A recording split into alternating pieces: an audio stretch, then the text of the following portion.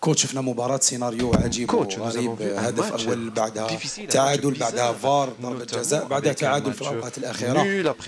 مباراة على الأعصاب كما عشتها أنت واش كان خاص اليوم من أجل تحقيق الفوز. الجزائر كي كور ديغيير ثقة باش نروحوا للمباراة على كل حال أنا الثقة أنا الثقة في اللاعب Donc, oui, نعم. le jeu, nous, nous l'avons fait. Nous avons joué contre vous, vous regardez ce match, Les, les, match les, joueurs qui ont, euh, euh qui ont été alignés et ils se sont concentrés, ils étaient enthousiastes, euh, ils avaient une concentration. Euh, je n'ai aucun doute par rapport à, aux qualités de mes, de mes joueurs, mais voilà.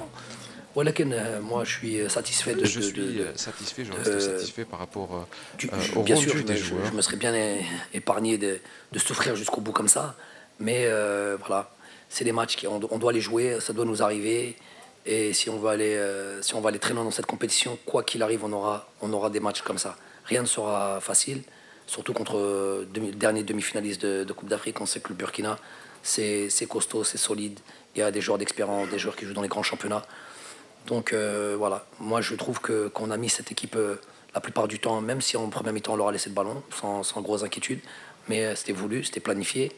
Euh, mais sinon, euh, dans l'ensemble, on n'a pas été inquiétés plus que ça. Il n'y a pas eu de réelle euh, occasion de leur part. Et, pour- par contre, nous, 4-5 situations quasi claires de gagner ce match-là. Donc beaucoup de motifs de satisfaction.